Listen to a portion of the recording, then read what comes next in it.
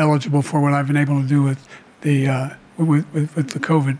Excuse me, with um, dealing with everything we have to do with. Uh, and I'm going to continue to move until we get the total ban on the the, the, the, the total initiative. Look, if we finally beat Medicare. Joe Biden and Donald Trump faced off in the first presidential debate ahead of elections in November. President Biden's performance has led to concern among Democrats after he was seen fumbling while articulating points about immigration, abortion, and other key issues. A bombastic Trump lashed out at his successor, calling him a failure on the economy and the world stage. Biden looked to hit back, but his delivery was hesitant as he spoke rapidly in a soft, trailing off voice and stumbled on his words several times. I mean, billionaires in America uh, eligible for what I've been able to do with the uh, with, with, with, the COVID.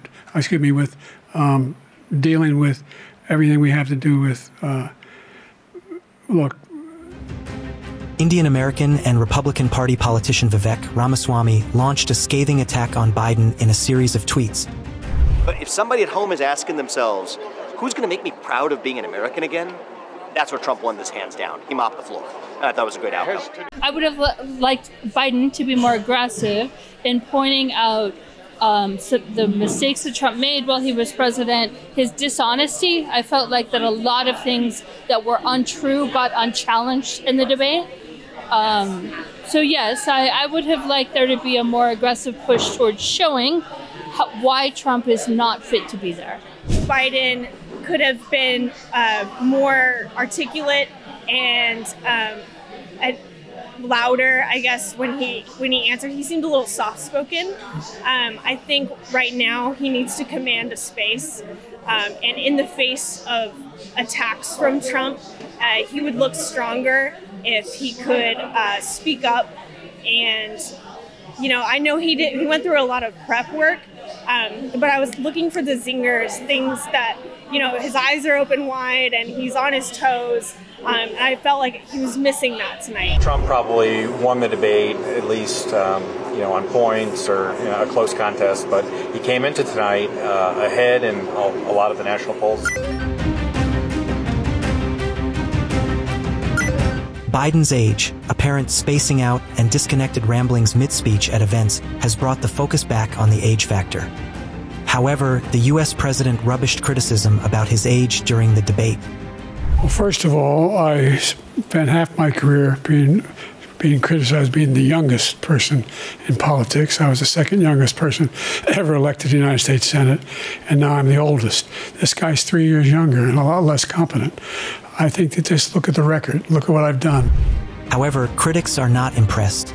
At 81, Biden would be the oldest president in U.S. history if reelected. Critics argue that his advanced age could affect his ability to effectively lead the country. Him, and so the focus after this debate, a lot of the clips that'll be replayed, is not the thing that President Biden wanted the focus to be on but just the, the what's going to emerge from out of this is a big discussion about President Biden's age, which is the last thing he wanted following tonight's debate. Leading up to this critical first presidential debate, polls have consistently reflected concerns about Biden's age and its potential impact on his ability to govern effectively.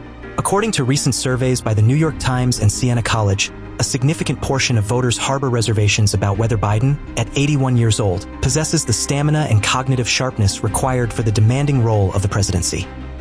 These concerns are not unfounded.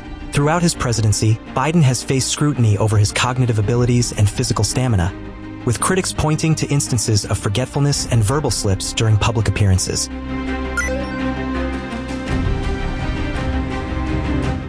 For many voters and political analysts, Biden's age represents more than just a numerical figure.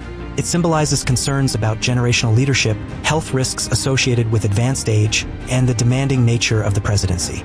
Recent reports have highlighted moments where Biden's memory lapses became apparent during public speeches and interviews.